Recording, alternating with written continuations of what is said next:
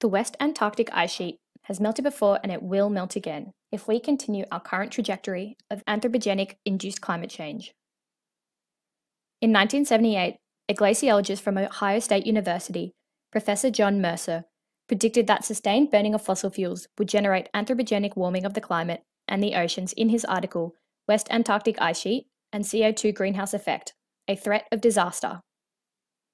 He anticipated that the warming generated by these greenhouse gases would be magnified at high latitudes, meaning the ecosystems which rely so significantly on a stable, cool climate will see the greatest rise in temperature.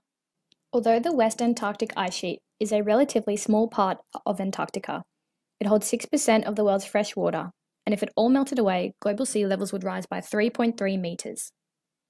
Today, 42 years after Mercer released his damning article, the Thwaites Glacier, the largest and the most vulnerable glacier within the Western Peninsula, has lost 600 billion tonnes of ice in total, and as much as 50 billion tonnes of ice is lost per year.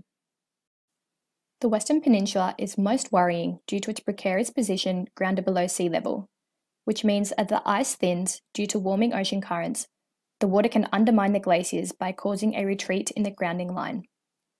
A grounding line is a contact zone between bedrock and the ice sheet. A backward shift in this grounding line increases the surface area of the ice to the warm waters, exacerbating the depletion of the ice sheet.